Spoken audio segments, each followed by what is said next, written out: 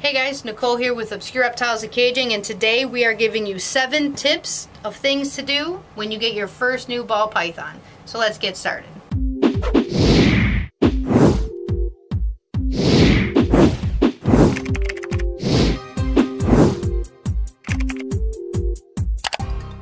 Hey guys, so today we're going to be walking you through your first week with your brand new ball python and we're breaking it down into seven steps for you. Before you've even gotten your brand new baby, make sure you have everything set up, dialed in, and totally ready. What I mean by that is make sure you have a cage, make sure it's the appropriate size cage for the baby that you're going to be getting. You have the temperature dialed in. Sometimes it can be a little bit finicky and it could take you a couple of days of constantly checking and adjusting depending on how you're heating that enclosure to make sure that it's perfect for the new baby. Again, make sure sure the humidity's dialed in, make sure you have hides, make sure you have water, make sure you have everything ready before the baby gets here. That includes things like make sure if you have other ball pythons, you're keeping this one quarantined, so you're keeping it away from your other animals. Make sure if this is your first or let's say this animal is specifically eating frozen or live or you're getting one from a show and you don't know which one exactly you're getting so you don't know what you'll be needing, make sure you find some local breeders of rodents. Make sure you've decided Let's say you want to breed rodents yourself, make sure you've already got that up and running and started. Make sure you've got all that kind of stuff, especially for food, because depending on where you're located, it could be kind of difficult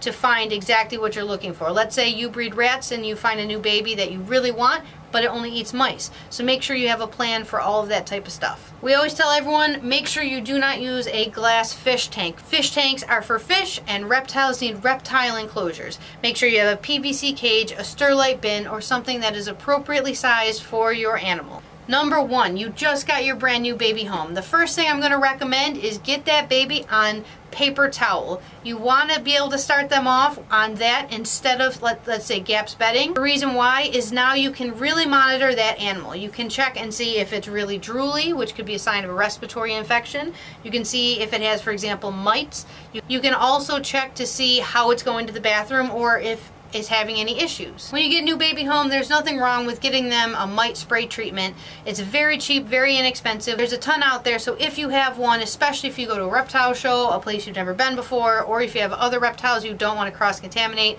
it's very easy and simple to give them a couple sprays, remove the water, spray them down, let them sit for about an hour, put the water back. Make sure you only have a little water so they can't soak and rinse it off. The next day, change the water, and there you go. Just in case there was any issues or mites, now you have that treated. Now that they're home, make sure you give them a really good check over if you already haven't. For example, if let's say you're looking for mites, there is a slit under their jaw. Mites like to hide in there. They like to hide underneath scales, so sometimes if it's a darker snake, it's very difficult to see. Sometimes they're very small mites and the snake actually has to turn its body a certain way for the scale to move for you to see. Make sure you really thoroughly check out that baby because once you put it in its enclosure, you're going to want to leave it alone for that first week minimum. Now number two, where are you buying this snake from? Are you going to a local pet shop? Are you going to a breeder and you've already known which animal you're getting? Are you going to a reptile show buying something that you really don't know what exactly you're going to get, you just have a thought in your mind or a price range. Depending on where you're buying this animal, make sure you know things like that person's social media, that person has a website, whoever you're purchasing from. So if you have questions along the way, you can contact them. Make sure you also spend a minute talking to that person. If they're super short with you, they don't really answer your questions, they blow you off before you even purchase the animal, they're probably not going to be the best customer service once you've already purchased the animal. If you're going to something like a pet store, make sure you are very knowledgeable before taking home anything because if you have questions along the way, they're normally not going to have that many answers for you, especially specific questions about an animal that you've purchased. Let's say you buy a ball python, two months later still hasn't eaten, you call the store, they probably don't have records or know exactly that snake, what they were feeding, especially if they had multiple. Number three, don't overstress this animal, so don't even bother trying to feed. At least wait one week. I know you're going to be very excited. You want to get them eating. You want to get all that moving along. But I would highly recommend to just wait and give them at least a week to settle in. Number four goes along with that do not overstress that animal. When people buy ball python babies from us, our first thing we tell them, which is the most sad thing to tell them, is don't touch your baby.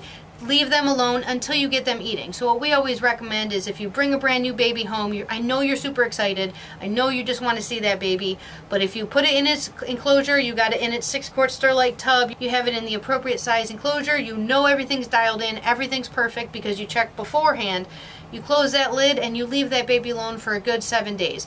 If that baby eats for you after that, that means it's not too stressed, it's doing great, and you can start handling. But if it's not eating for you, that means something's wrong. A temperature, humidity, the stress, something is bothering that animal and you need to figure out what it is and fix it before holding them. Number five, make sure even once you are holding them, you do limited handling sessions.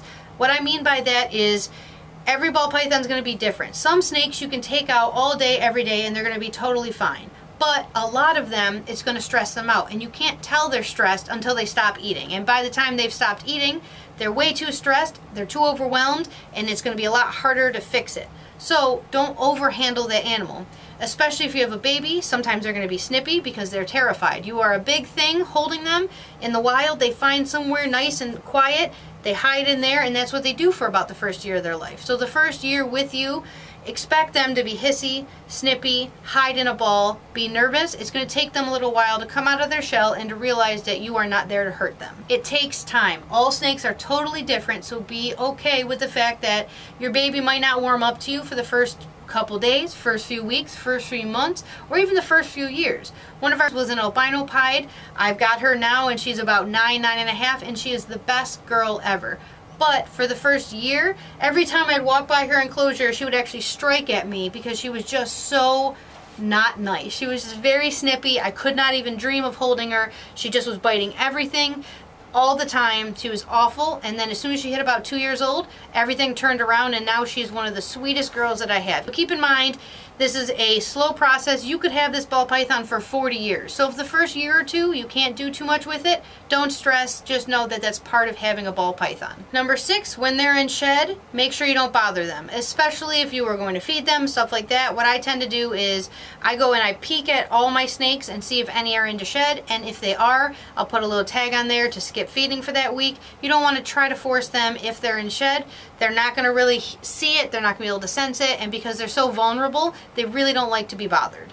Definitely don't hold them when they're in shed. If, for example, you have a larger enclosure and your baby ball python is just not doing very good, the first thing I always recommend if your heat and temperature are good, you've got tons of hides, if you are not using a very small enclosure, then that might be stressing out that snake.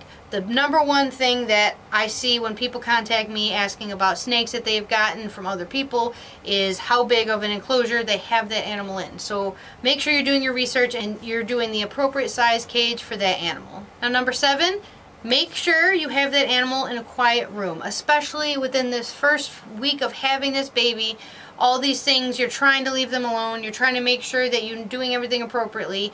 One of the other things that I find is people put their snake, let's say in a living room, and you like to watch very loud movies, or you have kids that are running around, or a lot of parties or game nights and a lot of people are being very loud and unfortunately that stresses out the animal so if you have a quiet room a spare bedroom a place where your animal is going to be nice and quiet and there's a lot less stressors that's great for when they're babies if your baby is eating, if your baby is doing well, then I wouldn't change anything. If you think you want to hold your baby more, go ahead. If they slow down on eating, they start getting pickier, then go ahead and change everything back. All ball pythons are totally different. All of them are going to be individuals and they're all going to have their own personalities. That's it for this video guys. If you have any questions, you can put them in the comments below. If you haven't already, please subscribe. We do new videos every week. So we'll see you guys in the next video.